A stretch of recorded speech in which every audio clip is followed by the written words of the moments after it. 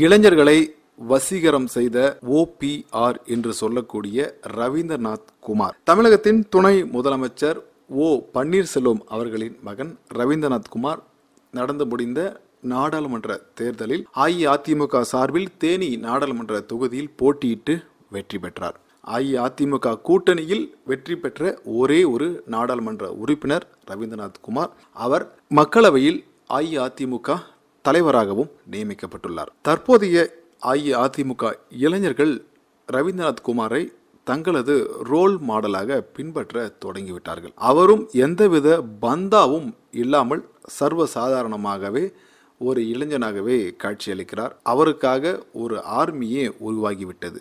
ரவீந்திரநாத் குமாருக்கு தென் மாவட்டங்களில் பெரிய ரசிகர் கூட்டமே உள்ளது என்றால் அது மிகையல்லை. அதை போல வட மாவட்டங்களிலும் அவருக்கான ரசிகர்கள் தற்போது உருவாகி வருகிறார்கள். அவருக்கான ரசிகர்கள் கூட்டம் தமிழகம் முழுவதும் தற்போது உருவாகி உள்ளது. இவற்றை ஒருங்கிணைப்பு செய்யத்தான் தற்பொழுது ஆட்கள் இல்லை. இவ்வாறு ரவீந்திரநாத் குமாரை ஆதரித்து இளைஞரணியில் இளைஞர்களாக இணையக்கூடிய இருப்பவர்களை ஒன்றிணைத்து ஒரு இளைஞரணிக்கு அவருக்கு ஒரு நல்ல ஒரு கட்சி பதவி வழங்கும் போது இளைஞர்களின் ஓட்டுக்கள் அஇஅதிமுகவிற்கு அப்படியே கிடைக்க வாய்ப்புகள் அதிகமாக உள்ளது. அஇஅதிமுகவை பொறுத்தவரை எம்ஜிஆர் இளைஞரணி இருக்கிறது. இந்த பதவியில் இருப்பவர்கள் எல்லாம் இளைஞர்களா என்று கேட்டால் இல்லை.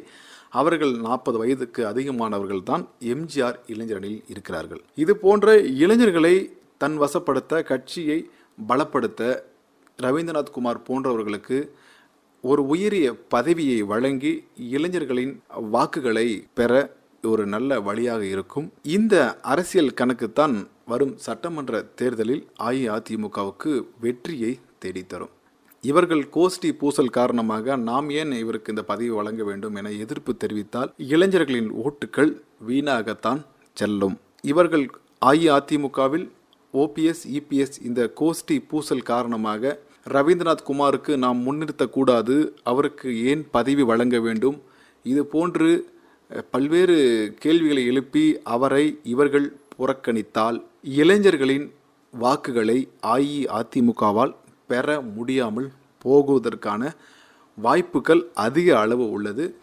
இன்னும் சட்டமன்ற தேர்தலுக்கு இரண்டு ஆண்டுகள் உள்ள நிலையில் இளைஞர்களை வசியப்படுத்த அவர்களை அஇஅதிமுகவில் இணைக்க ரவீந்திரநாத் குமாருக்கு இளைஞர் அணியில் ஒரு பதவி வழங்கி தமிழகம் முழுவதும் ஒரு சுற்றுப்பயணம் மேற்கொண்டால் தமிழகத்தில் உள்ள இளைஞர்கள் அவரது பின்னால் அணி திரள்வார்கள் என்பதில் எந்தவிதமான ஐயமும் இல்லை. நன்றி வணக்கம்.